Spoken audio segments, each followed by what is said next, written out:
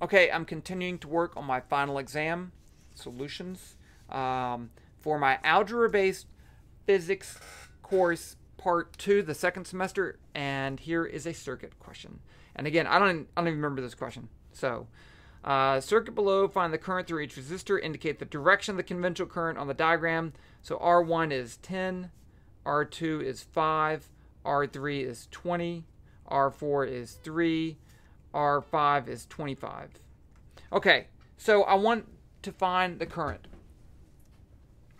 Let's just go ahead and pick, I have a 12 volt battery right there. I'm going to pick this as I1. It comes down here. At this point, there's a junction.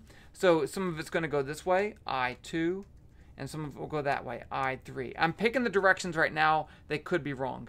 Now I'm going to do one other thing.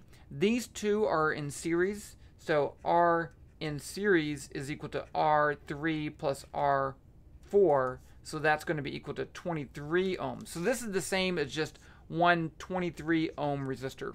Just to make things easier, you don't have to do that. Next, I'm going to write down, I look, I have one current, two currents, three currents. I have three currents, so I need three equations. Let's start with a loop, this loop. So uh, the loop rule says that uh, delta V around a loop equals zero volts. So if I start right here and I go in the direction of the current for this part, I'm going to get a, the long line is the positive side of the battery. So I'm going to get positive minus negative. So I get a positive 12 volts. So I'll say 12. I'll just leave off the units. Uh, and then over here, I'm going in the same direction as the current. So it's going to be minus I1 uh, times 10. I'll leave off the units. And then here I'm going in the same direction. Actually, I could combine these two, but I leave it. Don't worry about it. Uh, so now I'm going to say I'm going to have a minus. I'm going in the same direction as the current, so it's going to be minus I2 times 5.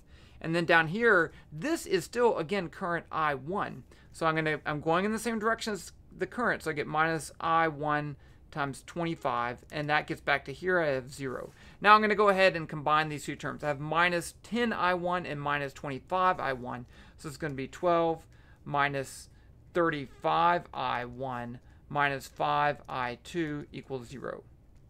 Okay, but I don't, I still have two variables I don't know, so I can't solve that equation. Now let's go and do this. Let's see, which loop should I do? Um, I'm just going to pick this one. So I'm going to start here and I'm going to go around. So the first thing I'm going to do is go across this resistor, but I'm going in this direction. I go in the opposite direction as the current. So I'm actually going to get plus I2 times the resistance of 5. Now I'm going in the same direction as I3, and I get minus I3 times 23, and I get back to here, and I get 0.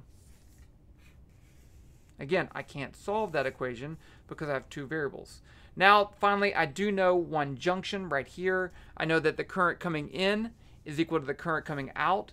So I have I1 equals I2 plus I3. Three equations, three unknowns.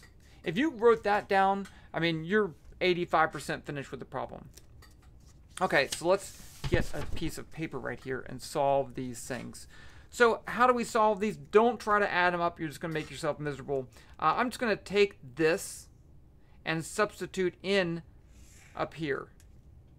Maybe that's not the best bet, but I'm going to do it anyway. Yeah. Okay, so I'm going to rewrite this as um, 12 equals 35i1, but i1 is this. So it's i2 plus i3. Minus 5, oh, no, plus 5i2. So I moved these two to the other side and they became positive, so everything's positive right there.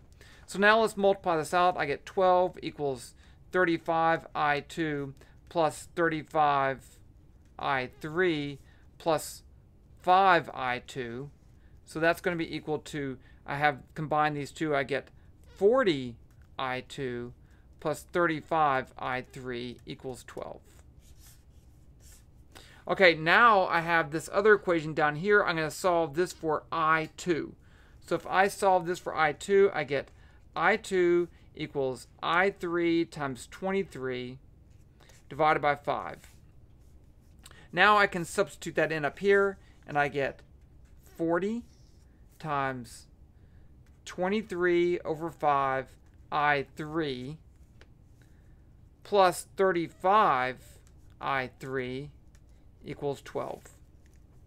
I can factor out the I3 and I get I3 equals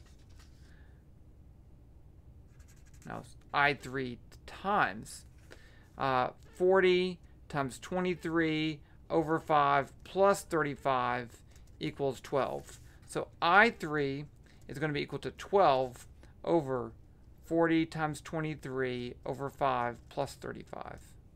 Let's put that in the calculator. And so I'm going to say 12. You be careful here because you have an improper fraction. So if you're not careful, you're going to hurt yourself.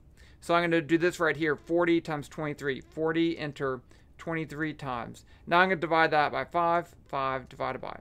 Now I'm going to add that to 35. 35 plus. And now I'm going to divide 12 by that. So then I get this. I get 0 0.055 amps. That's I3.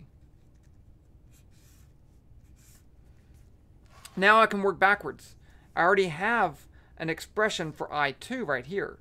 So I2 is going to be equal to I3, 0 0.055 times 23 over 5. So I already have that in there. 23 times 5 divided by. And I get 0 0.252 amps. That's I2.